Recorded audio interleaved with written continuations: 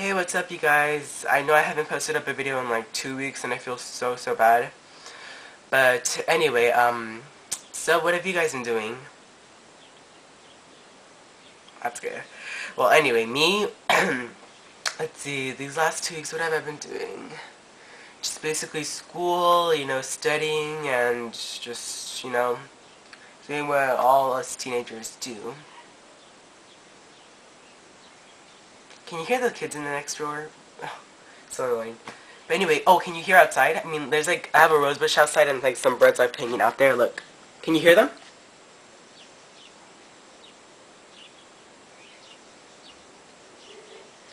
I think they're like making out or I don't know. You just hear them like chirping and all that stuff. Anyway, um, you guys obviously read the title, My First Kiss. And basically, let me just start this off, okay? So, first of all, um, I've been talking romantically with this guy named Nick. He's a really, really nice guy, and I really like him a lot. and basically, um, our first date was on, um, okay, right now it's Sunday, right? Yesterday was our second date, but the last Saturday before yesterday was our first date, and that's when we got to meet each other, like, you know, and, like, from the beginning, I mean, like, I kind of have to admit, like, you know, I was like, do I like him? Like, you know, because, like, at first I was kind of having doubts, like, you know, if I did like him or not, because basically, um, on my MySpace, I wrote this really, really long blog about me and relationships, and the thing about me and relationships is, I mean, I'm like 17, and I've always been thinking that I'm not ready to be in a relationship, that's why I've always avoided this whole thing, but I guess the reason I said that was because I don't like, I mean, I've always seen my friends, like, you know, going out with their boyfriends and girlfriends and all that stuff, you know, and I always, like, you know, just left out, you know, but I guess it was because I would always constantly see them get broken. And that's not something I would want to go through, you know. And right now, like, you know, in my life, like, now, it's not what I want to go through either. But, basically, when Nick started talking to me, it just felt like, you know, I might as well just meet him halfway, you know, like, you know, a friend once told me that the only way you can really, like, like, have like someone is if you allow yourself to get broken, you know? Like if you allow yourself to get shattered completely, you know, just allow it, you know, and kind of embrace it.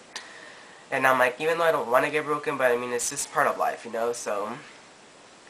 But anyway, so I gave this guy a shot, Nick, and basically yesterday, uh, there was this concert called Battle of the Bands. I wonder if I have the ticket somewhere. No, I don't think so. But anyway, so um, we went and hung out, and we wrestled a bit, and we cuddled a bit. And then um, we picked up our friends and we all went to uh, Chabot College and to, to go to this concert battle of the band sort of thing. And right there, we were on the back of his, uh, again, this, uh, I forgot what car is it. I don't know, I'm really bad with cars. But we were in the back of his car and we were just like cuddling, you know, just, he was kissing my neck. Oh yeah, by the way, he loves my boobs. And basically, I named my boobs because they're mine.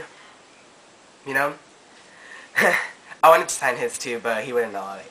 But anyway, so we started, um, you know, just cuddling, and then while everybody else went to the Battle of the Bands concert, like, you know, indoors, we stayed outside and we started talking, and, you know, I had my head on his chest, and just, basically, on our first date, he was asking me, like, you know, if he wouldn't really, like, kiss me unexpectedly. He said if, if I wanted to kiss him, it was because of me, like, you know, not because of him, like, forcing me to, you know, it was all on me, you know? So yesterday I was like, should I kiss him? Like for like the half like half an hour I was basically thinking like, was like, should I just take his head and just go, like whoosh, and kiss him, you know? But at the same time I was like, I don't know how to kiss. It's like I've never kissed anyone or anything, you know. This is like my first experience with like a guy. Well, I've dated another guy before, but that was about it. You know, I've never had a boyfriend. I've never done anything with a guy, you know. So I'm just like, I really didn't know what to do. So I was like, oh shit, what am I gonna do? I don't want him to think. I, I don't know. That's that's another one of my problems. I'm always thinking about what other people are gonna think about me, but sometimes I just do it anyway.